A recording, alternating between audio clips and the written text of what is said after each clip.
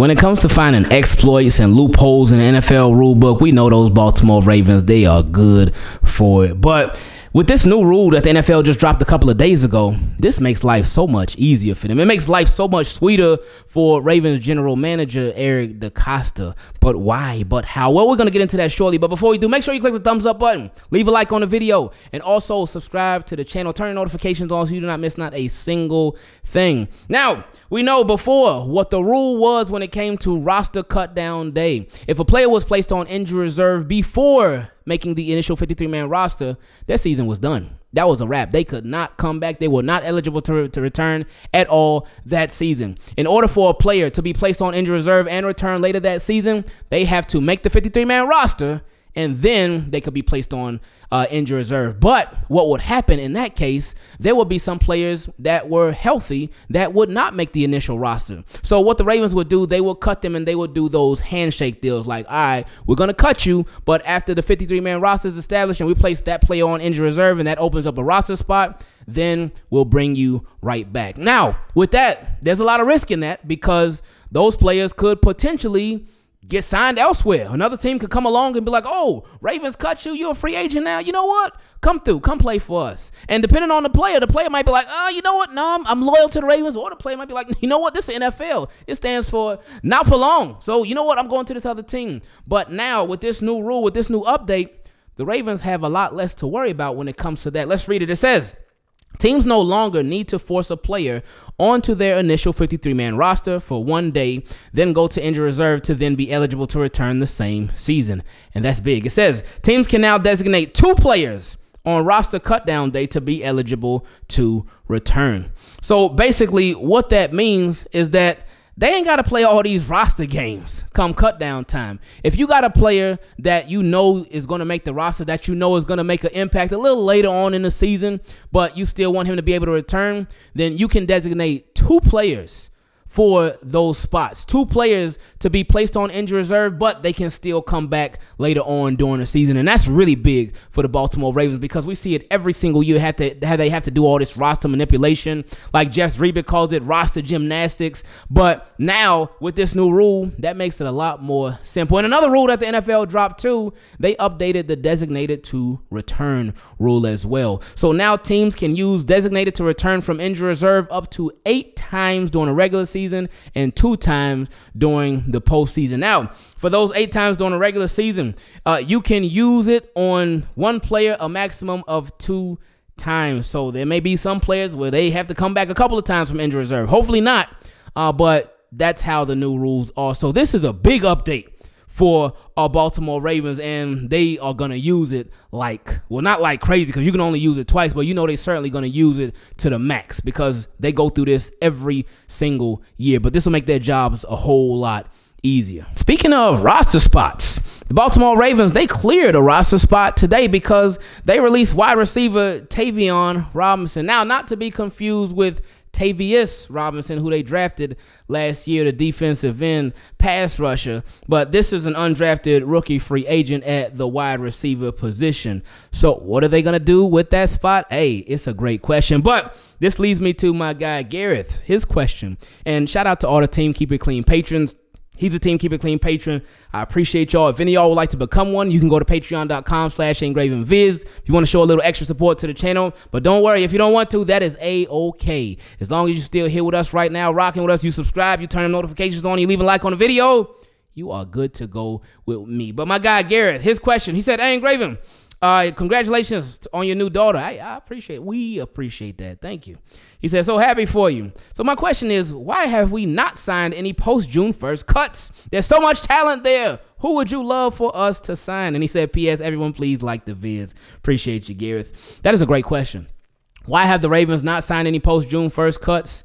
Who knows? Maybe it could be one of those things where the Ravens are in negotiations with somebody and whatever players they possibly are in negotiations with, maybe those that player trying to negotiate with somebody else at the same time too.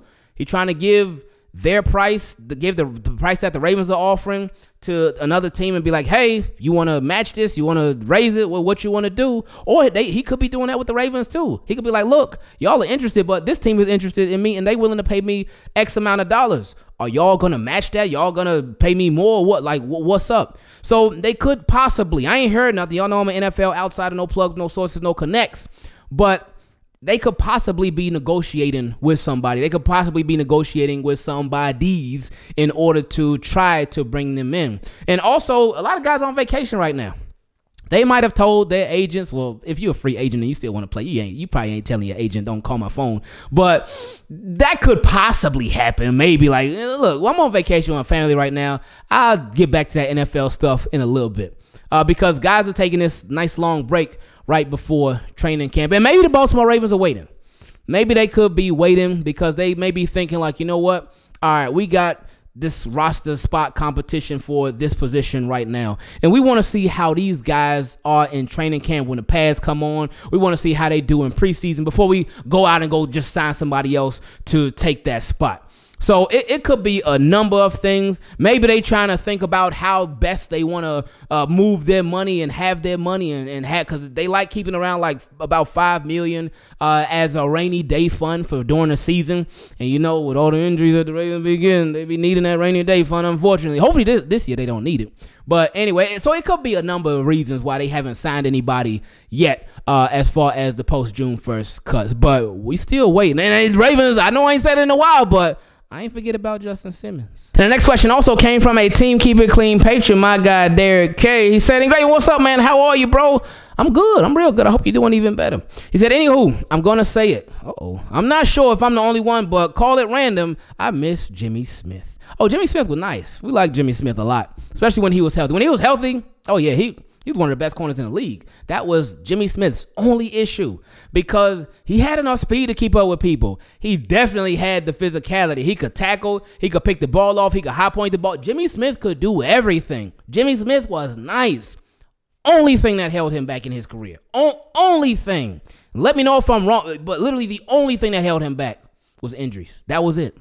That was it. When he was healthy, ooh, that was it. That ball. But anyway, continuing. He said, uh, I miss Jimmy Smith. He was one of my favorite players for the longest. From seeing him when he came in as a young rookie, uh, he made plays, the interception against Cleveland and Cincinnati, the Jacoby Jones fumble recovery at the goal line, thanks to Cary Williams, of course, LOL, the tip pass by Bernard Pollard, in which he caught and cradled it in when he held it down against Michael Crabtree at the goal line in Super Bowl 47. Yeah, and that was offensive pass interference, by the way. Anyway, continuing. Uh, he did all that as a young guy. Then, slowly, little by little, all the vets were leaving. Jarret Johnson, Ray Lewis, Ed Reed, Bernard Pollard, eventually Terrell Suggs. Jimmy became the old man on the roster.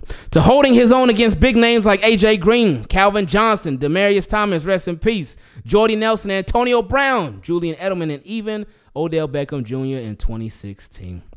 It's crazy to think about that how Jimmy Smith and Odell Beckham Jr. actually crossed paths in the NFL because it seems like they came uh, from like two different eras, in my opinion. But anyway, continuing, he said, "I know we all had uh, we had All Pro Marlon as of late, and the excitement surrounding the future of Nate Wiggins, and of course." The man, the myth, the legend. Literally one of your favorite Ravens players, Chris McAlister, aka C Mac.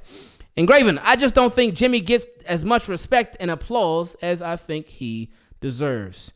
Hmm, that's interesting. That's interesting. I think the reason that that is is because of the injuries. I, I, I really do.